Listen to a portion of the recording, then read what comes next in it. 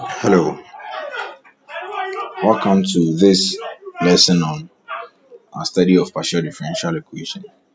Okay, so in this video, I will take you through how to solve partial differential equation, especially first order partial differential equation, which is homogeneous and some with constant coefficient and others with non-constant coefficient. Okay, all right, let's start. Okay, so to start with, we had our lessons, but these are some of the examples I want to go through with you. If you have not subscribed to my channel yet, kindly subscribe for more videos. Okay, we said that if you have a partial differential equation which is of the first order of this form, then what you do is you compare it to AUX plus plus B UY okay equals zero. Now we said if, if you have something like that, then what you solve the characteristic equation for this PD will be dy dx should be equal to b over a and you solve this ODE to characterize the equation. This is what you use. So with this quickly we compare to that and you know that your A is actually 2 and your B is actually 3 so I have dy dx is equal to 3 over 2. Okay. I have dy is equal to 3 over 2 dx. Now this becomes a very simple ODE for you to solve. So if I integrate both sides of this equation, I'll get something like y is equal to 3 on 2, sorry, 3 over 2x plus some constant, let's say s. And I have 2y equals 3x plus 2s. I just multiply through by 2. And then 2 times s here is still a constant. So I have 2y minus 3x equals some constant, let's say c. Let's say let's call that c1. Now if I divide through by negative 1, I get 3x minus 2y is equal to negative c1. And negative c1 is still a constant, okay? So let me call that one c. And he says that immediately you have something like this, the solution to this whole PDE is now given as u of xy is now equal to f of c. Okay, so the solution to this question is equal to f of c where our c is what we found here okay? So the solution to this PDE is given by f of c is what? 3x minus 2y this is very simple okay? So that is how you solve for the first order PDE which is homogeneous and of this type okay? Now let's consider another first order PDE where the coefficients of uh, derivatives some of them are not constant okay? Here we have a to be what 1 okay? And the value of this to be b and that is not a constant. So comparing this to a normal general PDE you have dy dx should be equal to b over a and b is what? 2xy squared over a which is 1 and now I have dy should be equal to 2xy squared dx. If I divide through by y squared, I'll get something like dy over y squared is equal to 2x dx. Now I integrate both sides, okay? When I integrate the left side, the left side, let, let me write this in a linear form so that you, you know it. y negative 2 dy is equal to 2x dx, okay? Now if I integrate both sides, I'll get something like negative y negative 1. Okay, the reason is you just add 1 to the power which becomes negative 1, then divide through by negative 1. Okay, is equal to 2x squared over 2 plus some constant s. Okay, I hope you get it. Now I get negative 1 over y from indices this will give me s squared plus s okay? So I'll get something like minus s squared minus 1 over y is equal to some s okay? And if you can see you can divide through by negative 1 to get the variables in in positive form okay? Alright, so I can say that negative s okay is equal to s squared plus 1 over y. Now this negative s becomes a new constant which is equal to s squared plus 1 over y. And the solution to this PDE is actually equal to f of c. Okay. Now f of c and our c is what? s squared plus 1 over y. This is very simple, right? So this is the solution to this PDE here. Once we have a homogeneous first order PDE, no matter how the coefficients are, we don't have a problem. Okay, especially of this form. Okay. Now let's look at the other type. Okay, so if I have this type, well, this is of three times. Okay, what do I do? What you can do is simply compare this to AUX plus BUY plus CU is equal to 0. Okay. Now find dy dx should be equal to the same b over a and you solve for this. Okay. Alright. So let's quickly solve for this one. Comparing this to what I just wrote. We always know that the coefficient of ux is what are a and coefficient of uy is our b. So simply let me write it for dy dx should be equal to the coefficient of uy is 3 is just b over a. So this implies I have dy equals 3 over 2 dx. Okay. y is equal to 3 on 2x plus some s. Okay, I have 2y equals 3x plus some s.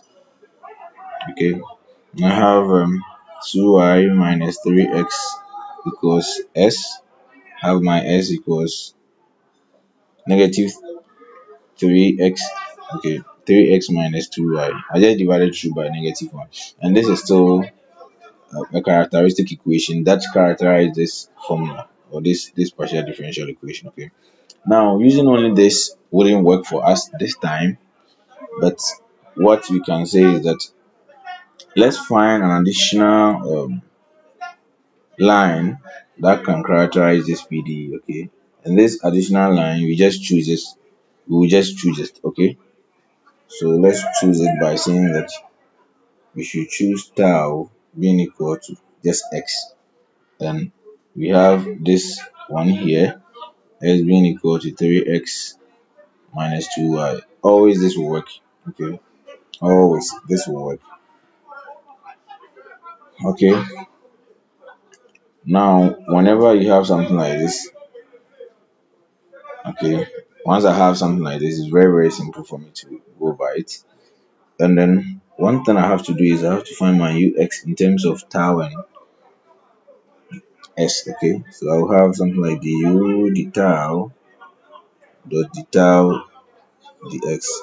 Okay, this is from chain rule and plus du dx. Okay, times ds dx. This will give me the tau dx is 1, so I have u tau plus the s dx is what 3 us and I have something like uy is also the same thing okay? Now the tau the u the, uh, tau times the tau dy and that will give me 0 the tau dy tau does not depend on y okay? So I'll get 0 for that I'll get 0 plus then the u ds which is us times the s dy and that is negative 2 okay negative 2 u s now I come back to my PDE. This is my UX, okay? And I put UX and uy into this whole equation back again, okay? Into this time in terms of what tau and S, okay? So let me write it quickly here for us to see it properly. Okay. So I have my PD is 2 into ux is that u tau plus 3 us okay plus 3 into uy which is negative 2 us plus 8u equals 0. Now I have 2u tau plus 6 us minus 6 us plus 8u equals 0. Now this can take this out. Now I'll be left with only the tau components, okay? So I'll get something like um, u tau, okay, plus 2u tau plus 8u equals 0. I'll get u tau okay u tau plus 4u equals 0 now this becomes very simple ODE for me to solve okay? So now my integrating factor here is what? Um, the integrating factor is e to the power integral of 4 d tau okay? This will give me e to the power 4 tau okay? Now I just multiply through this and we said earlier that the whole of this PD will change to since we are using integrating factor, we are just using an idea in ordinary differential equation. And in that, when you are using the integrating factor, what you do is you multiply e to the power 4 tau to the whole of the right side and the left side of your equation. Okay. So you go to 0 times that, now get 0. Okay. So if you consider what you've written in our left side carefully, okay, let me expand it so that you understand more. Because if I just do it like this, maybe you might not understand. So you get e to the power e to the power 4 tau u tau plus 4u e to the power 4 tau equals 0. Now if you consider this clearly, okay, this is as if you are differentiating the product the product of these two functions. Just try to differentiate this and you get the same thing as this. So the whole of this equation tends to something like this. Okay. Now i'll get an equation of this form. Okay. Let me use the red pen.